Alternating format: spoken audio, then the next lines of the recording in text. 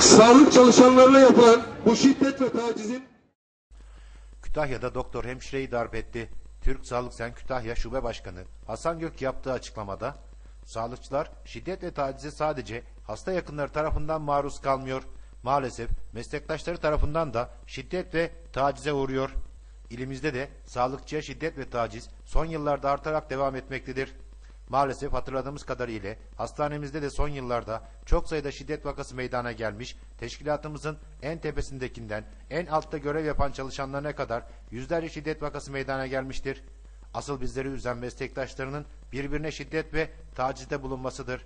Hasta ve hasta yakınlarının şiddetini ve tacizini önlemeye çalışırken meslektaşların birbirine şiddet ve tacizde bulunması hepimizi derinden yaralamış ve bu basın açıklamasını yapma ihtiyacını doğurmuştur.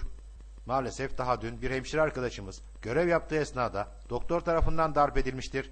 Hemşire arkadaşımızın darp edildiği yetmezmiş gibi bu birimde çalışan sağlık çalışanlarına eğer şikayet ederseniz yeriniz değiştirilir, buradan gidersiniz gibi ifadeler kullanılması üzüntümüzü katlamıştır.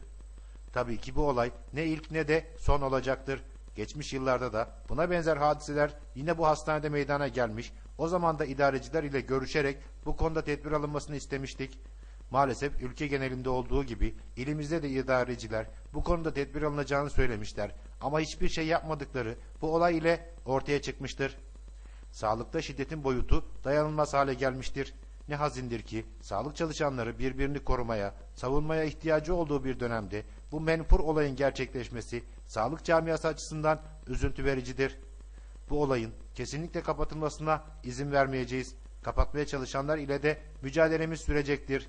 Buradan doktorundan hemşiresine, hizmetlisinden müdürüne kadar tüm meslektaşlarımıza sesleniyorum. Sağlık çalışanları hiçbir baskıya ve şiddete boyun eğmeyecektir dedi.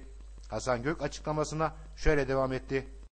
sağlıkta şiddet son hızla devam etmektedir. Yazılı ve görsel basında gün geçmiyor ki sağlıkçı şiddet ve tacize maruz kalmasın. Sağlıkçılar şiddet ve tacize sadece hasta yakınları tarafından maruz kalmıyor.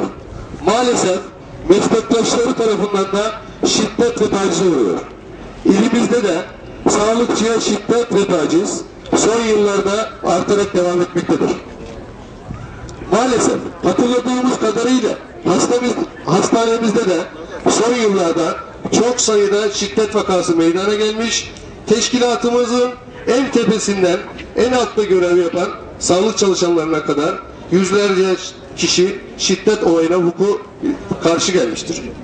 Asıl bizleri üzen meslektaşların birbirine şiddet ve tacizde bulunmasıdır hasta ve hasta yakınlarının şiddetini ve tacizini önlemeye çalışırken meslektaşların birbirine şiddet ve tacizde bulunması hepimizi derinden yaralamış ve bu basın açıklamasını yapma ihtiyacını doğurmuştur.